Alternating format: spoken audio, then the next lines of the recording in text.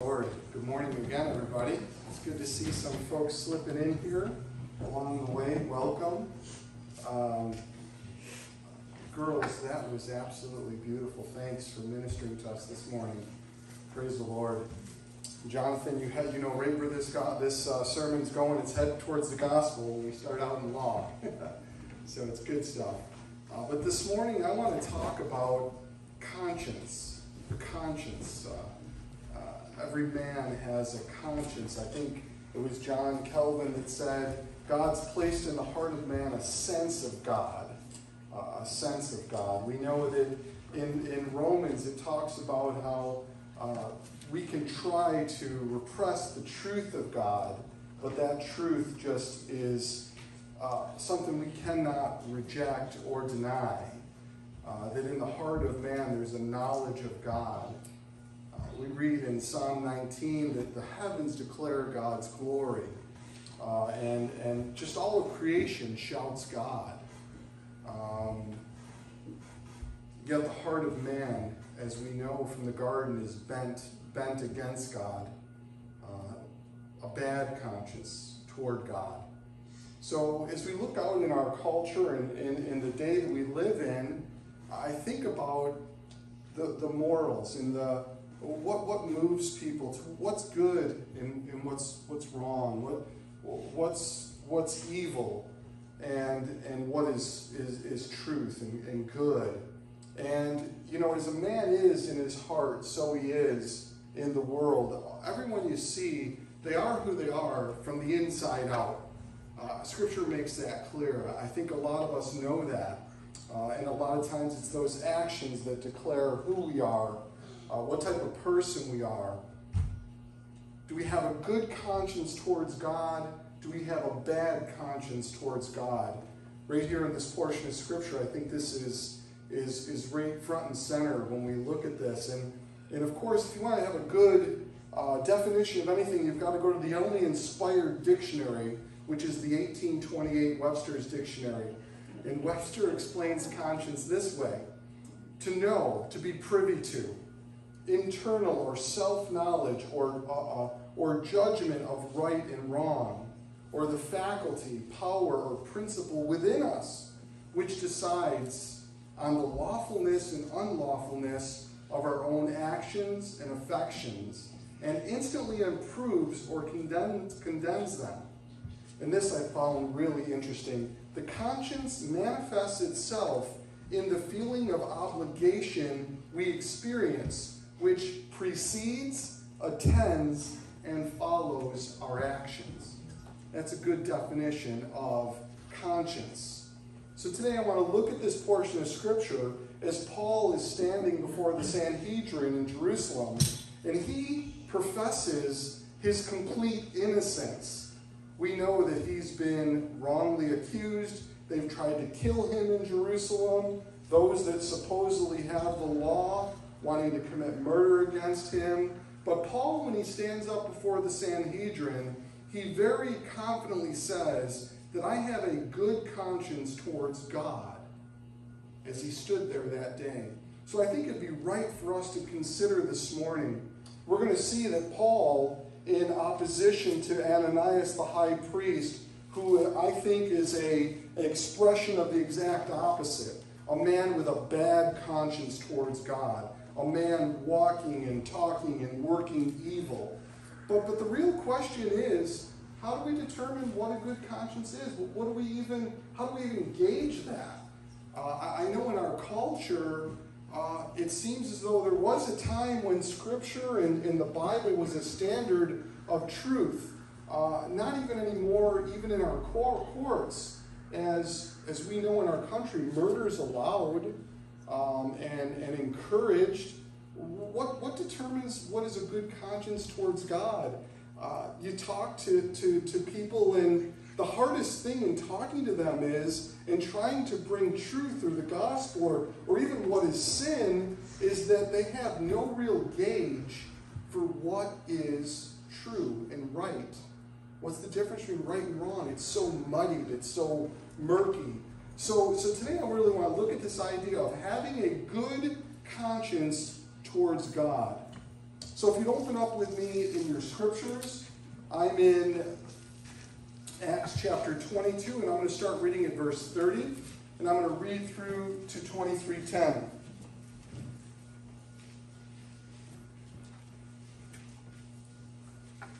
you might wonder if you're here for the first time, the Garlands might think, oh my goodness, they just keep reading the scriptures over and over.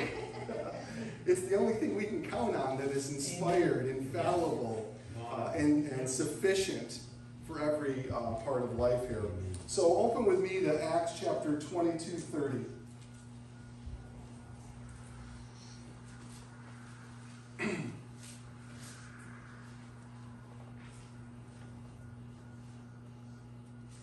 the next day, because he wanted to know for certain why he was accused by the Jews, he released him from his bonds and commanded the chief priests and all the council to appear and brought Paul down and set him before them.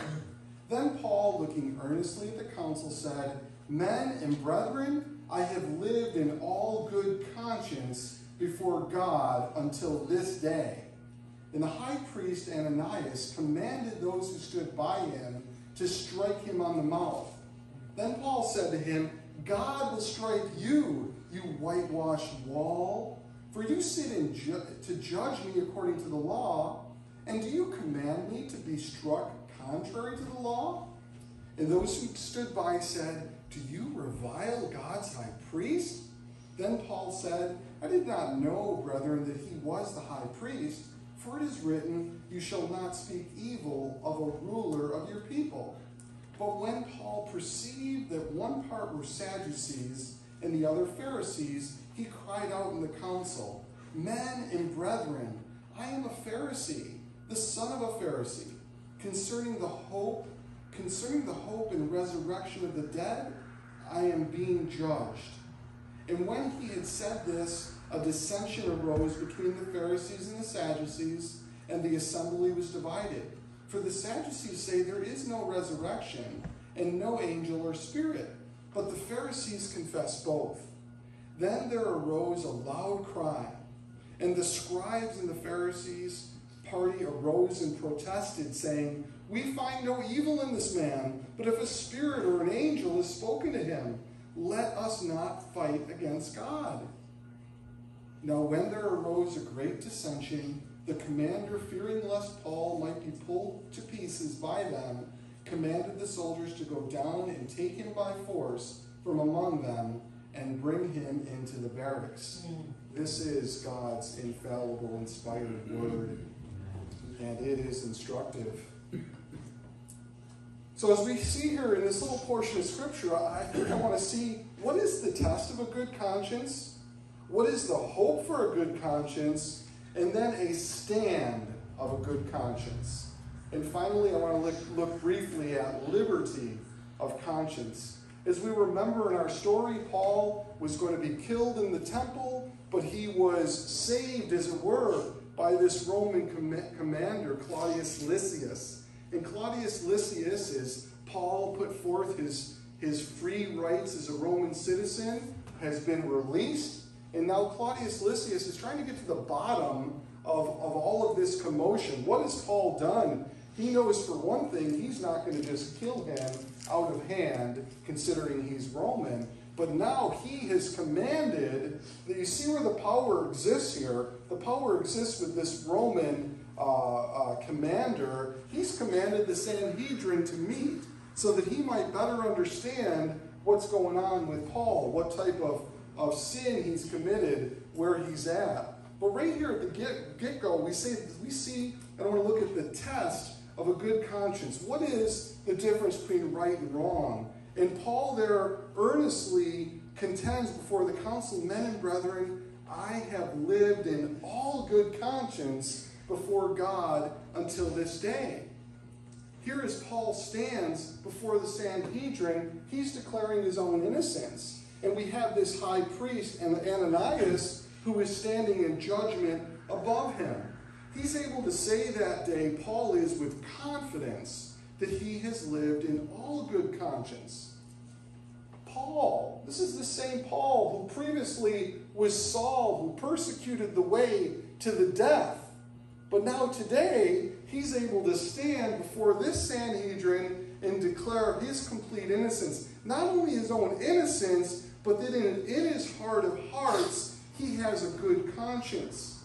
Because you see, we all know, and we can remember back to, to Acts chapter 9, that Paul, Paul, who once was Saul, has been radically transformed by the gospel. He's been changed and made new. Now, to this point, he's unwaveringly able to be right with God and declare his conscience is right. But what's very interesting in this very story, we have a real strong difference playing out between Paul and Ananias the high priest. Paul has this good conscience towards God, but Ananias, I think, is a living example of what a seared conscience looks like, what a hard hearted conscience looks like. Paul was the Pharisee of the Pharisees, and now Ananias representing the Sadducees. Paul, in some way, must have felt as though he was looking into a mirror when he looked and heard Ananias speak. He must have been remembering back to his previous self, seeing this Ananias just spewing hatred and, and, and, and violence, uh, him calling for those, uh, not, those soldiers next to Paul. As Paul declares this, he just has them punched right in the mouth.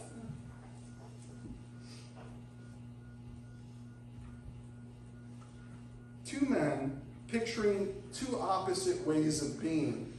Paul was on that very path, headed down the road to destruction, and Christ, as it were, picked him up out of that very desperate spot. But here we see Ananias in a, a completely different spot. If we look, Jewish historian Josephus gives us a little bit of a background of Ananias. Ananias was a high priest. He was very wealthy. He was insolent he was cruel, and he was greedy.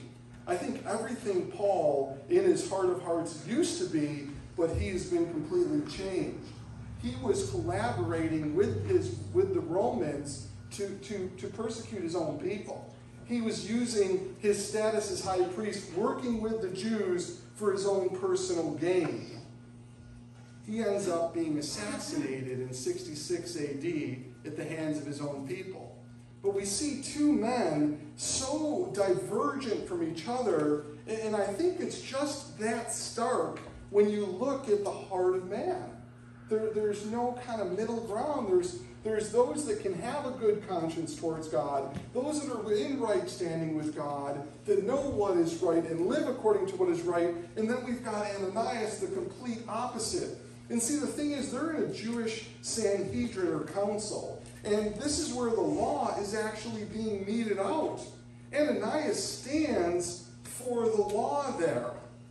And what does he do? He completely rebuffs and disobeys the law, and again has Paul punched in the face, in the mouth, without any real judgment being meted out. I mean, law and justice has left Jerusalem by this time. This is not the Jerusalem of the Old Testament. This is not a Sanhedrin that's really standing for truth. And again, we go back to Webster's to look at what does a seared conscience look like?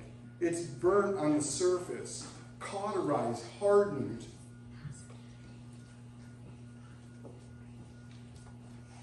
There's an insensibility to it, that seared consciousness. Ananias and Paul, I think, stand as two different ways of being before God hard hearted, contrary to God, soft hearted, and sensitive to God. So, so today we'll see only that there are these two ways. I've said it a thousand times. Ananias might be the, the, the most cruel example of a hard hearted, fallen, lawless uh, man that's supposed to represent uh, lawfulness, but is completely filled with greed and Paul so changed that he has such confidence towards God that he can say, I am in good conscience with God till this very day. Uh, and you see it, and boy, oh boy, do we ever see it nowadays that we live in a world that's filled with greed. Uh, this man here, supposedly representing the council in Jerusalem is the high priest, uh, was as evil and wicked as they come, selling his own nation for money. Uh, I dare not stumble into politics, but we can see that this kind of man is still existing today. Those that would give up their country for, for some money. Uh, but, but, but really, the point here, though, is is because I want us to think of ourselves. I want us to think about who are we in our heart of hearts, and what is the test of a good conscience towards God? What is the test? How do we judge that? Um, everyone, I think today, uh, then you started to see in Jerusalem those that had rejected Christ, uh, they were living in a very lawless way. It reminds me of the time of the judges when everything, everybody did what was right in their own eyes, and there was complete lawlessness. There was no conscience of right or wrong. And interestingly, it says everyone did what was right in their own eyes because there was no king. Listen, there's now a king, and he is seated at the right hand of the Father, and he's made a way so that there might be right law placed back into the heart of man. Uh, but I get off a little bit. But we live in a culture where right and wrong are like a wax nose. We can bend it any which way we like. Um, and it's so sad. You can't even have a conversation anymore with someone who holds a divergent opinion. I, I, told uh, uh, Rob that I need to interview someone for my, for my uh, missions class, and I need to hear their worldview. And one of my, uh, my cousins reached out to Michelle on Facebook, and he said the worst evil in the whole wide world that the world suffers under is Christianity. That's the evil that the world suffers under. So I thought this young man would be a perfect person for me to hear his worldview. I, I reached out to him. I said, let's talk. I want to know what exactly makes you, makes you tick. What is your worldview? What is right? What is wrong? Where's your conscience? And because that's what it comes down to it. But how do we test a, uh, a worldview? How do we test what is right and what is wrong? Paul, in his, uh, uh, after he's punched in the mouth, Paul lays out pretty clearly exactly where a good conscience comes from and what the real test is. God will strike you, you whitewashed wall. God will judge you, you hypocrite. You should know better. You sit to judge me according to God's law? How can you judge rightly when you you're having me punched against the law? So, right in that statement, we know what the, the, what, what the, the test of true uh, conscience and what is right and wrong. It's like it's always been. It's God. God created man in his own image back in the garden. And you know what? My cousin, every person in this country that reviles God, every person ever born, they are liable to their creator. They answer to God. And whether they know it or not, they answer, answer to God's word. Right judgment uh, comes from God alone. God is the test of good conscience, and God is the test of bad conscience. Scarier than that, God is the judge who will judge rightly. Samuel Rutherford, just as an aside, has a wonderful book that I'd encourage you to read. Is the ruler king or is the law king? God said, I've, I've, I've honored my very word above my own name. The law is king. God's law is king. God's word is the standard. So Paul is called to, to be respectful to Ananias. How can you revile the high priest? He's the high priest of your people. Listen, it's right to honor those in authority. But when those in authority are completely adverse, 180 degrees opposed to what is right, I think Paul called it the way it was.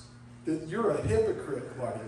And I think he, he, he probably at that point says, Oh, I didn't know he was the high priest. Well, I couldn't tell by the way he's acting, that's for sure. But, but the thing here is that, that we ought to obey God rather than man. Paul, you see such a difference in the way when Jesus laid his life down, the Sanhedrin that judged him, that ended up turning him over to the Romans, that he might lay his life down, it's completely different the way Peter and John and now Paul react to wrong leaders and wrong justice and law, they're disobeying it. But they're also calling people to repentance and where to look. The whole point now is not for them to lay their lives down, but to declare the gospel. So I think pretty clearly what's the test of a good conscience? It's God Himself, who we all answer to, and it is God's Word, God's law. Uh, I think about uh, Paul standing there in opposition to Ananias, and I, I can't help but think of the Reformation and to think of, of the father of the Reformation, Luther, in his standoff with Pope Leo X. It's a bit, there's some similarities there.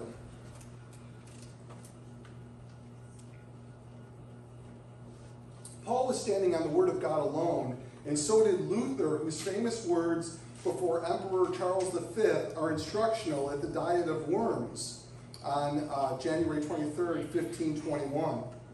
Unless I am convinced by the testimony of Scripture or by clear reason, for I do not trust either the Pope or in councils alone, since it is well known that they have often erred and contradicted themselves. I am bound by Scripture, I have quoted, and my conscience is captive. Where? To the Word of God.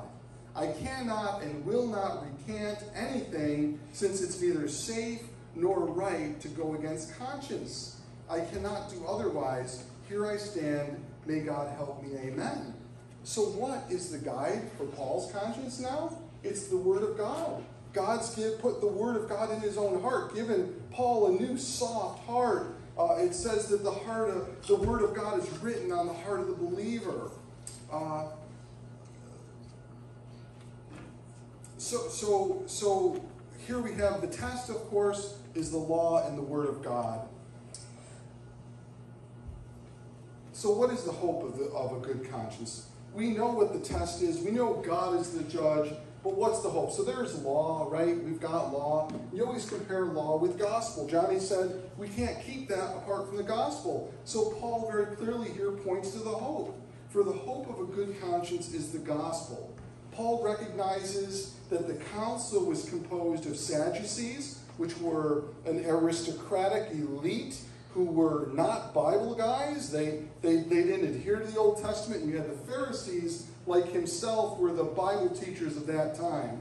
Uh, and he says uh, that because of that, he says, he made men and brethren, I am a Pharisee, the son of a Pharisee, concerning the hope in the resurrection of the dead, here I'm being judged. So Paul really is being judged because he's been preaching the gospel. Paul's being judged because he's been bringing forth the hope that all of the Old Testament pointed to, that pointed to Christ, as he's been preaching everywhere he goes. The one thing those there in the council can't stand is the, the gospel. It's very clear the wages of sin is death.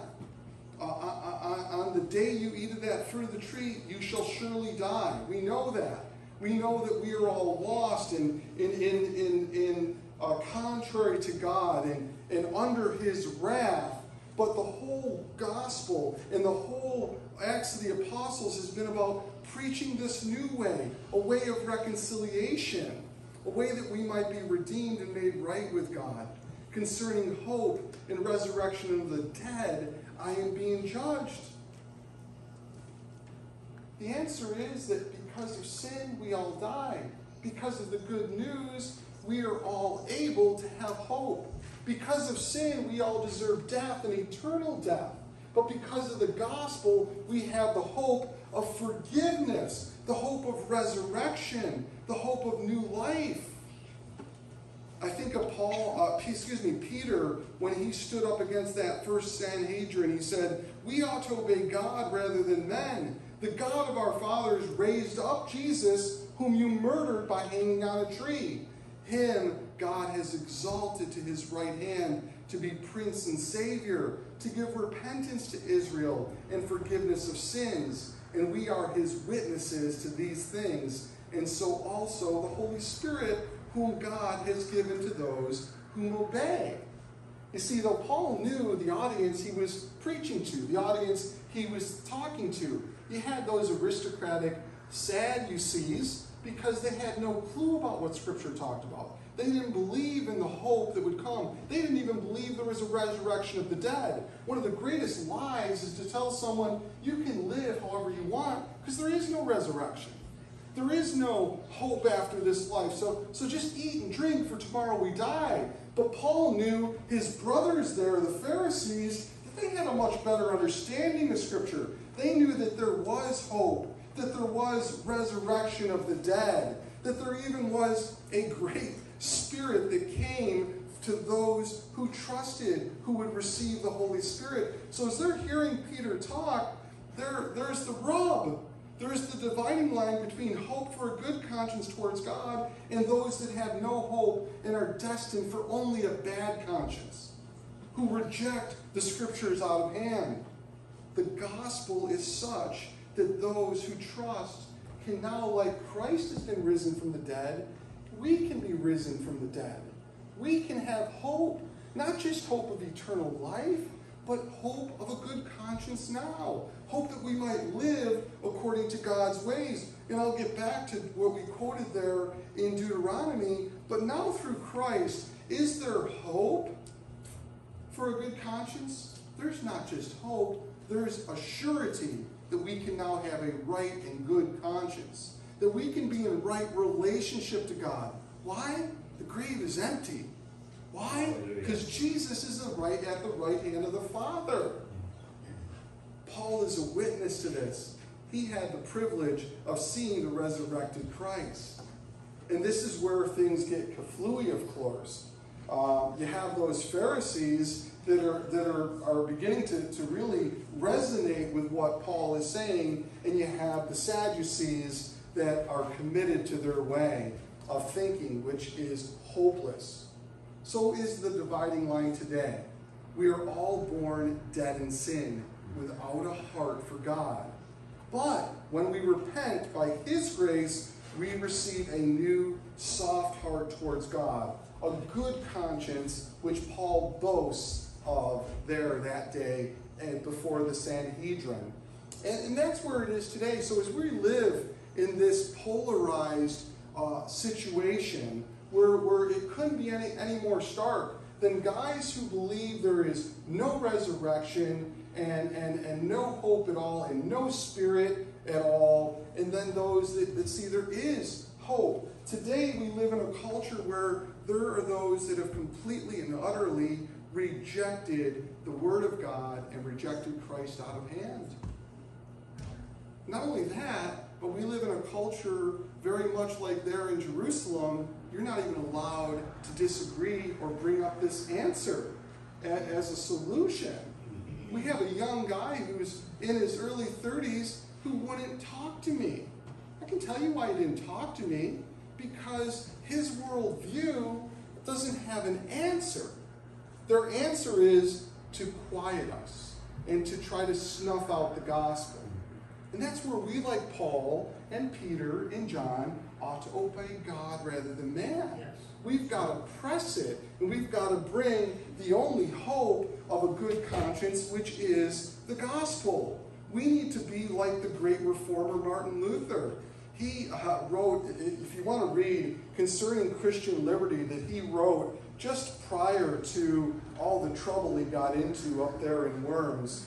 Uh, he writes a beautiful letter to the Pope himself, very respectful, and, and very much hoping that the Pope would repent and turn from his sin. But, but, but Martin Luther lays it out really clearly what the hope of a good conscience looks like. One thing and one alone is necessary for life justification and Christian liberty, and that is the most holy word of God, the gospel of Christ, as he says. I am the resurrection and life.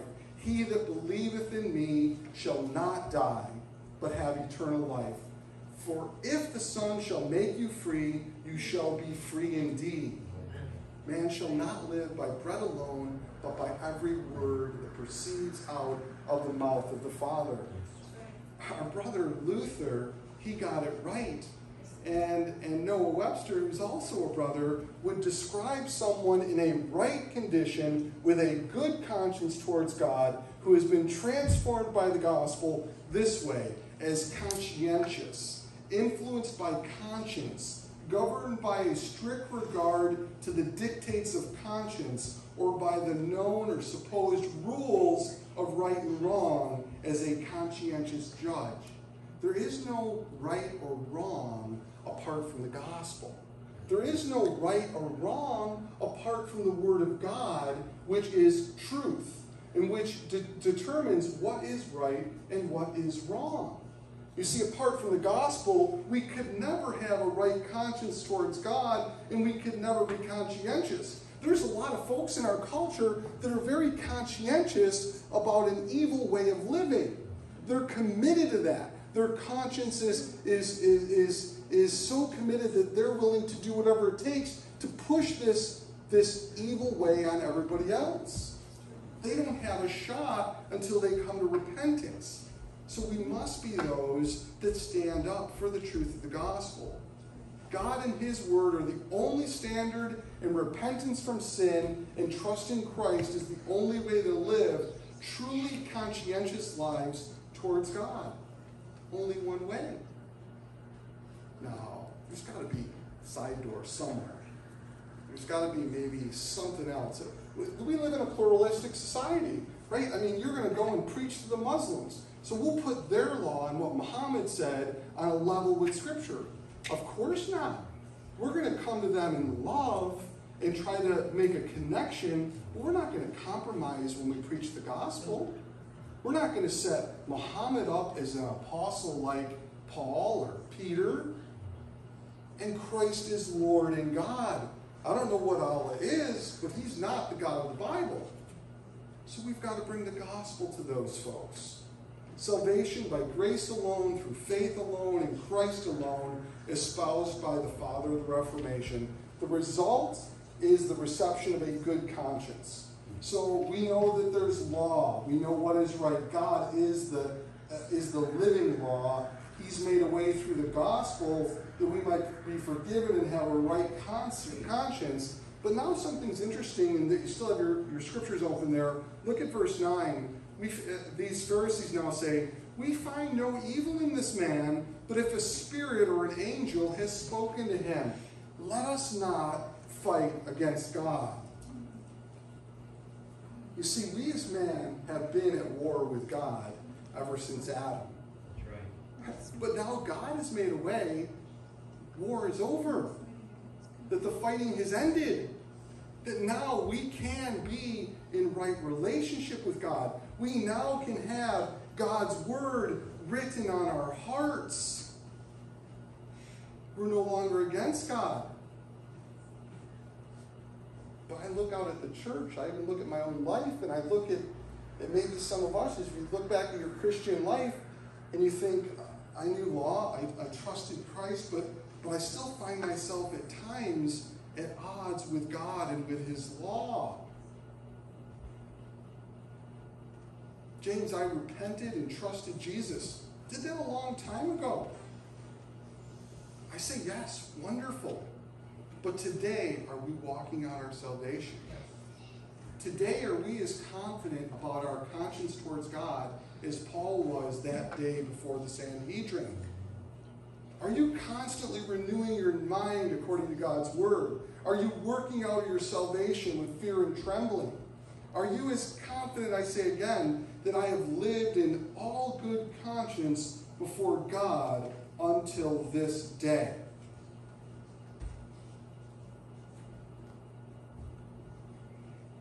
Are you confident today? Christian, you have put a confidence and trust in Christ. Are you walking it out? Are you living and, and walking in right standard with God? I know myself walking with the Lord since I was 18, that was always kind of an up and, down road there.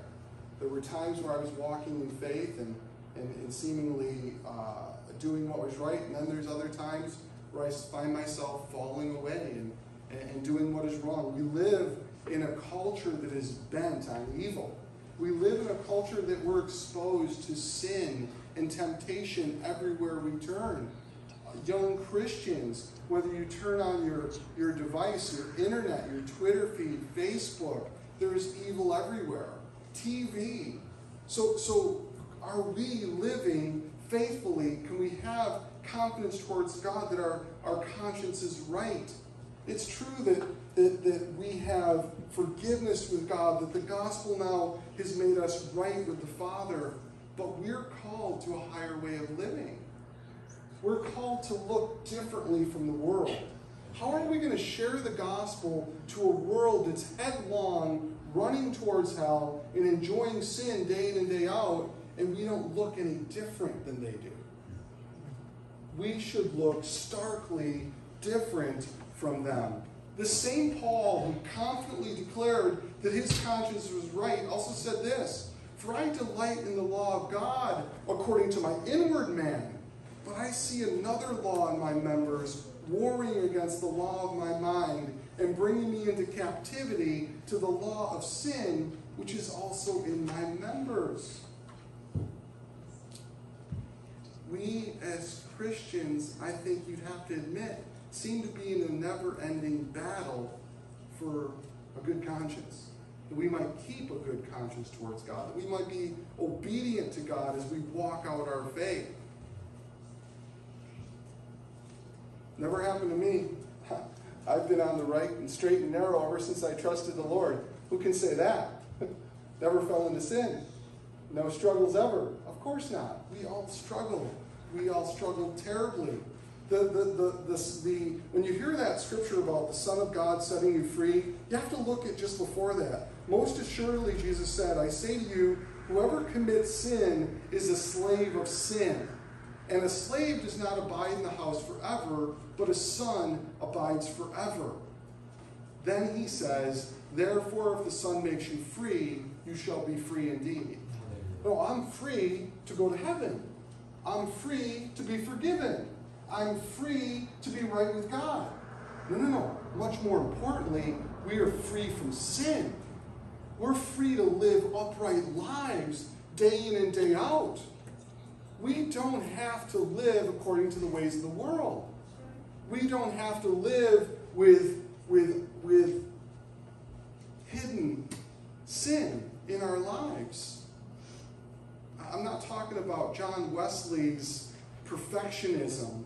I'm talking about a good, upstanding uh, Word of God that changes you and a Holy Spirit that makes you able to overcome sin and not be enslaved to it. The kind of power that the Son of God enacts in the heart of the believer.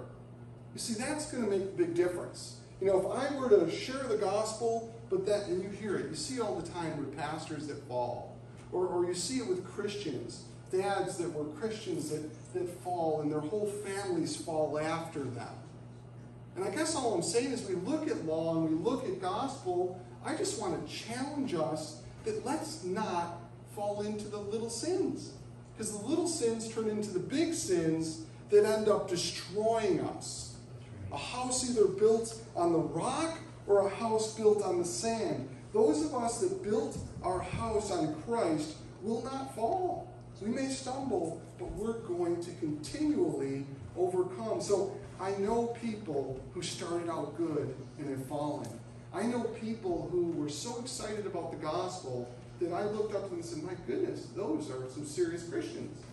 They fell into such wicked and horrible sin that it just tore their families apart. And God forbid where they will end up. So, is there hope, though?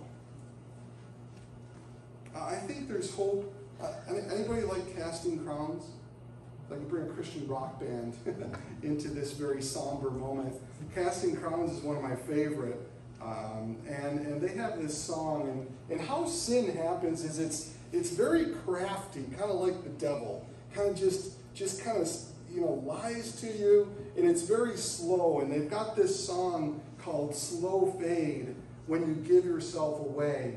It's a slow fade when black and white have turned to gray. Thoughts invade, choices are made, a price will be paid when you give yourself away. People never crumble in a day. It's a slow fade. It's a slow fade. That's how it happens. It, it's very crafty. And I just want to challenge us this morning. That doesn't have to be our portion.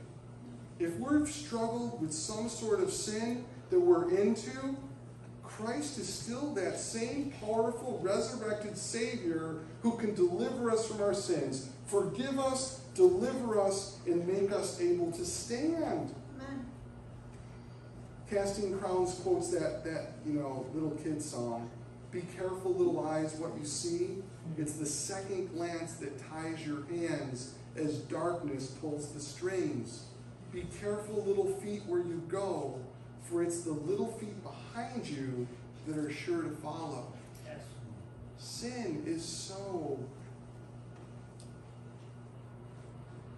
conniving and subtle, the subtleties of sin.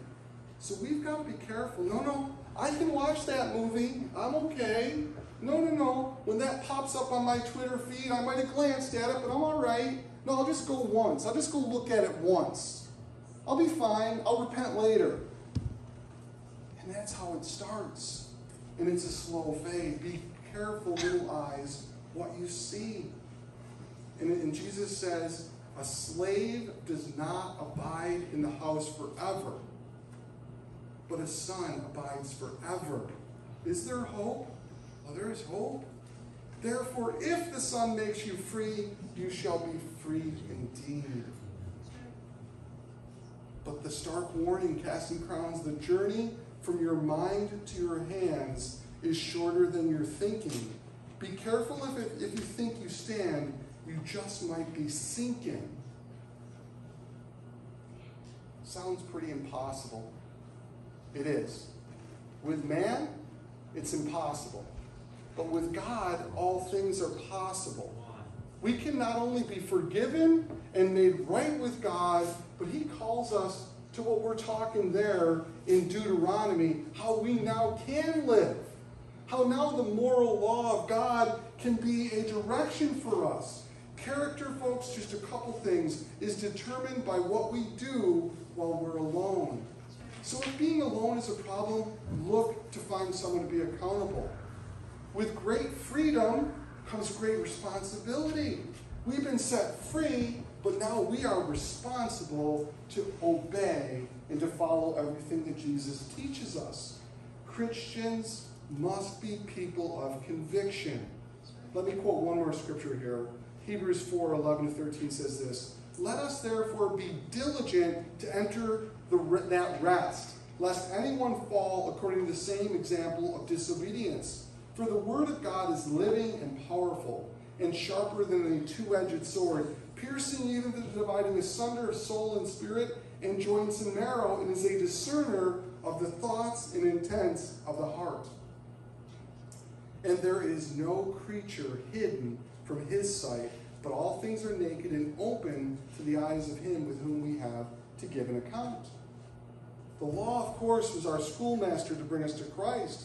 But now God's law word will be our guide as we walk out who we are as new creations in Christ. And that's a wonderful, wonderful thing. Again, Webster's 28 describes the overcoming Christian this way that we are a, a scrupulous uh, regard of conscience and a sense of justice, a strict conformity to its dictates. Listen, I'm not saying it's salvation by works. Of course it isn't. But because of our salvation, we're going to live a certain way. We're going to walk a certain way. Now, when Jonathan says what he says, we who are Christians, who are the new Israel, we can say, and now Israel, what does the Lord require of you but to fear the Lord your God, to walk in all of his ways, and to love him, to serve the Lord your God with all of your heart and with all of your soul? That's only possible because of Christ. And to keep the commandments of the Lord and his statutes, which I command you today for your good. Indeed, heaven and the highest heaven belong to the Lord your God. Oh, we're all Christians in heaven. But he's also the Lord of the earth. Thy will be done on earth as it is in heaven. So we're called to a different way of living. We're called to live rightly. And I think I'll save my last point for next week. I've said more than I should have said. Let's come up and sing our last song responsively. But I just want you to do this. I think We've looked at what a good conscience looks like, looks at like. We've looked at the hope of a good conscience. But I think more importantly, a good conscience is played out in how we live. That good conscience, those things in our heart, are going to translate into a changed life, a life living rightly before God. This is a high calling for the Christian to walk consistently to be true witnesses day by day, examples of the resurrected Christ. That's what resurrection life looks like. And it's wonderful. You can play with sin. Sin seems fun for a little while. Let me tell you what, the end is not good. the end is not good now, and the end is not good when Jesus judges. Let's pray. Father, we thank you today for the power of the gospel. We thank you, Lord, that we were lost and without hope. We were without hope and, and, and contrary to you. Our heart and our mind and our conscience was set against you, Father. But that, Lord God, you have given us new hearts, fleshy hearts. You, Lord God, have written your law on our hearts. So, Father, I pray. I pray that you might forgive us, Lord God, where we have missed it, where we take you for granted, where even we presumptuously sin in certain areas. God, have mercy on us and help us overcome in those areas, that we might walk and live a life worthy of the Savior who has delivered us. That then, God, we might also bring this message of reconciliation to a world that is being destroyed by their sinful lives. Father, we thank you for your goodness and your mercy. Pray, Father, that you might seal your word in our hearts and make us able to obey, we pray. In Jesus' name, amen.